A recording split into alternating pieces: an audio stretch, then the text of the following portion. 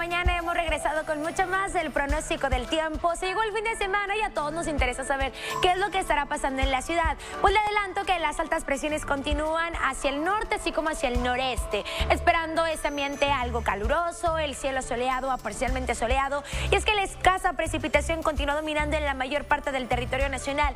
Si hay algunos chubascos aislados en sectores como el occidente y el centro del país, pero no hay un factor bien definido que genere esta inestabilidad.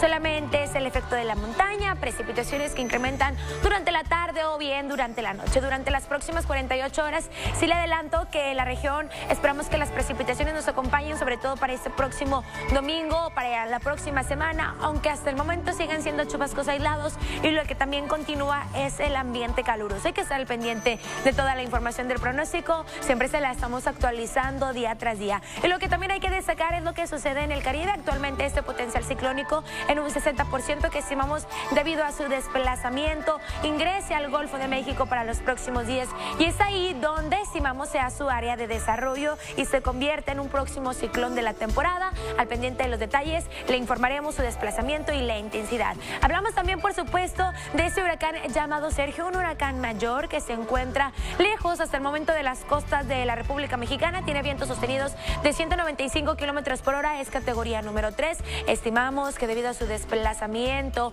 para los próximos días esté generando una vuelta que estará generando también precipitaciones hacia la península de la Baja California. Para los próximos días estamos hablando de las próximas 72 horas. Esto ya como una tormenta tropical a medida de que Sergio vaya perdiendo fuerza. Mientras tanto, también hay que destacar lo que estará sucediendo, por supuesto, durante este viernes en Monterrey y su valor máximo que será de 32 grados, con un cielo completamente soleado, un ambiente caluroso. Tome en cuenta que no hay precipitaciones durante este día. Al finalizar la jornada, esperamos una temperatura de 25 grados, el cielo medio nublado y un ambiente muy agradable. En lo que resta del fin de semana, seguimos con esta tendencia de cielo soleado a parcialmente soleado, 23 como mínima y máxima de 33 grados. Y ya para la próxima semana, como le mencionaba en inicio, esperamos precipitaciones próximo lunes y martes, medio nublado, chubasco y tormenta eléctrica, 23 como mínima, máxima de 32. La probabilidad de lluvia se mantiene en un 40% también para este próximo miércoles con el cielo medio nublado, 32 grados de máxima